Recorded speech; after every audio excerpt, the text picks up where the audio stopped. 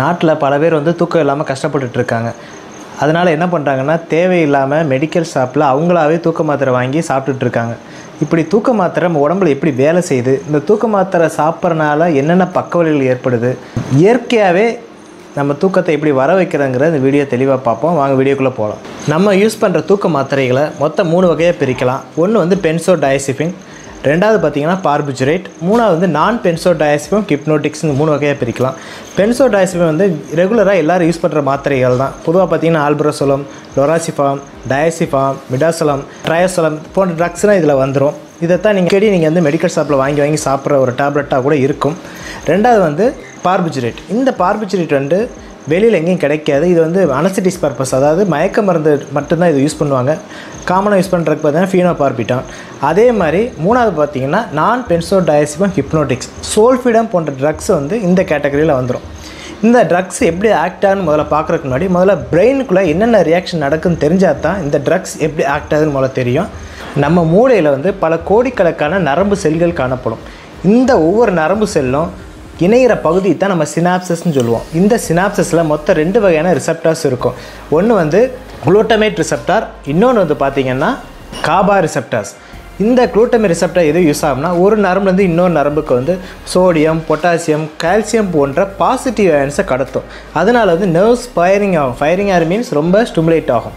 இதுவே GABA receptor என்னென்னா இதுக்கு ஆப்போசிட் ரியாக்ஷன் அதாவது குளோரைட் அயன் அதாவது நெகட்டிவ் அயன்ஸை வந்து இன்னொரு நரம்பு செல்களுக்கு கடத்தும். இல்லைன்னா பாசிட்டிவ் அயன்ஸை வந்து நரம்பு செல்லேருந்து வெளியேற்றும் இதனால் வந்து நர்வ்ஸோட ஆக்ஷன் வந்து கட்டுக்குள்ளே வச்சுக்கிறோம். இந்த தூக்க மாத்திரை என்ன பண்ணணும்னா இந்த காபா ரிசப்டாஸில் தான் வேலை செய்யும்.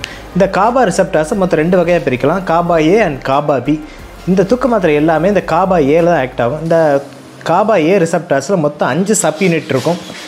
ரெண்டு ஆல்ஃபா யூனிட்ஸ் ரெண்டு பீட்டா யூனிட்ஸ் ஒன்று காமா யூனிட்ஸ் இந்த பென்சோ டயசிஃபம் அதாவது ஆல்பரசோலம் மிடாசோலம் லொராசிஃபம் எல்லாமே இந்த ஆல்ஃபா அண்டு காமாக்கு இடையில போய் ஆக்ட் ஆகிறனால குளோரின் அயன்ஸ் ஓப்பன் ஆகும். இதனால் ஒரு நரம்பு செல்லேருந்து இன்னொரு நரம்பு செல்களுக்கு வந்து குளோரின் சார்ஜ் வந்து என்ட்ரு ஆகும்.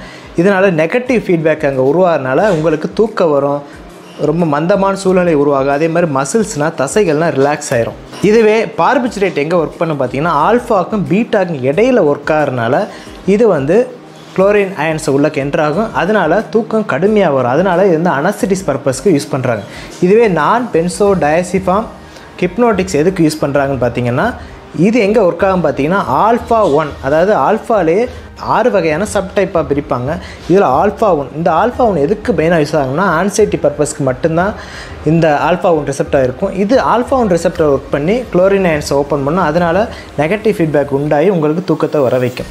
இதை தவிர சில தூக்க மாத்திரை பார்த்தீங்கன்னா காபா ரிசப்டாரில் ஒர்க் பண்ணாத தூக்க மாத்திரைகள்லாம் இருக்குது பொதுவாக பார்த்தீங்கன்னா ரேம் எலக்ட்ரான் ஒரு மாத்திரை இருக்குது இது என்ன பண்ணுன்னா நம்ம உடம்புல மெலோட்டனின் லெவலை கூட்டி விடும். அதாவது M one M two receptors சில ரிசெப்டாஸ் மூலையில் இருக்கும். இது வந்து மெலட்டனின் ஹார்மோனை கூட்டி விட்டுறனால தூக்கத்தை சீக்கிரமாகவே இன்டியூஸ் பண்ணும். பொதுவாக டாக்டர்ஸ் வந்து தூக்க மாத்திரைகளை ஒரு வாரமோ ரெண்டு வாரத்துக்கு மேலே ஃபாலோ பண்ணி கொடுக்குறத நீங்கள் பார்த்துருக்க மாட்டீங்க. பொதுவாக இந்த பென்சோடைசியம் ட்ரக்ஸ் இந்த பென்சோடைசியம் ட்ரக்ஸை அதிகப்படியாக யூஸ் பண்ணால் என்னென்ன பக்கவலிகள் ஏற்படும் பார்த்துருவோம். முதல்ல பார்த்தீங்கன்னா ட்ரை மவுத் உருவாகும் தலைவலி உண்டாகும் நெஞ்சு எரிச்சல் கேஸ் ட்ரபிள் உருவாகும் கான்ஸ்டிபேஷன் சொல்கிற வயிற்று பிரச்சனைகள் உண்டாகும் டயரியா உண்டு பண்ணலாம். இது வந்து சாதாரணமாக ஏற்பட விளைவு.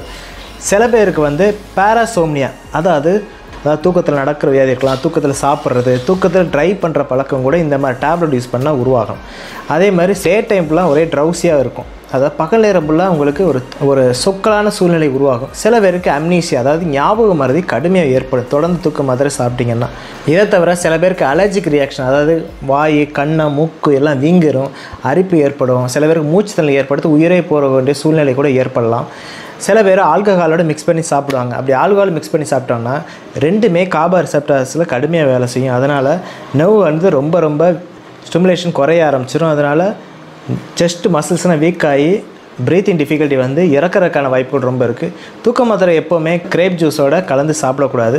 சாப்பிட்டா இதோட ஆக்ஷன் ரொம்ப ஓவராகவே இருக்கும். பல ரிசர்ச்சில் என்ன சொல்லியிருக்காங்கன்னா தூக்க மாத்திரை சாப்பிட்டவங்க சாப்பிடாதவங்களை காட்டிலும் சீக்கிரமாகவே இறந்துடுறாங்க. மேலும் கேன்சர் போன்ற சில கடுமையான வியாதிகள் கூட ஏற்படுன்னு சொல்லி பல ரிசர்ச்சில் ஆய்வறிக்கையில் சொல்லியிருக்காங்க. சரி இந்த மாத்திரைனா யூஸ் பண்ணல. அப்போ இயற்கையாகவே தூங்குறதுக்கான வழிமுறைகள் சொல்லுங்கன்னு சொன்னீங்கன்னா இந்த மாதிரி வழிமுறைகளை நீங்கள் ஃபாலோ பண்ணலாம். நம்பர் ஒன் பார்த்தீங்கன்னா அவாய்ட் ப்ளூ லைட் அதாவது நீங்கள் தூங்க போகிறதுக்கு முன்னாடி ரெண்டு மணி நேரத்துக்கு முன்னாடி TV tablets and mobile use பண்ணுறதை அவாய்ட் பண்ணும் ஏன்னா இதில் வந்து ப்ளூ லைட் வந்து எக்ஸ்போஸ் ஆகிறனால உங்களுக்கு தூக்கமின்மை ஏற்படுத்தும். ரெண்டாவது வந்து டே டைம் நேப்ஸை வந்து நீங்கள் குறைக்கணும். அதாவது பகல் நேரத்தில் தூங்குறதை நீங்கள் அவாய்ட் பண்ணணும். அப்படி தூக்கம் வருது என்னால் தூக்கத்தை கண்ட்ரோல் பண்ண முடியலன்னா மினிமம் டுவெண்ட்டி மினிட்ஸ் தூங்கினா போதும். அதுக்கு மேலே தூங்காதீங்க. அதே மாதிரி நைட் நேரத்தில் உங்கள் ரூம் வந்து ரொம்ப ரிஃப்ரெஷிங்காக இருக்க மாதிரி வச்சுக்கோங்க. அதாவது நல்லா கூலிங்காக இருக்கணும். நாய்ஸ் இல்லாமல் பார்த்துக்குங்க. அதே மாதிரி ஈவினிங் டைமில் நீங்கள் காஃபி டீ சோடா போன்ற மூளை ஸ்டிமுலேட் பண்ணுற பொருட்களை அவாய்ட் பண்ணியே ஆகணும்.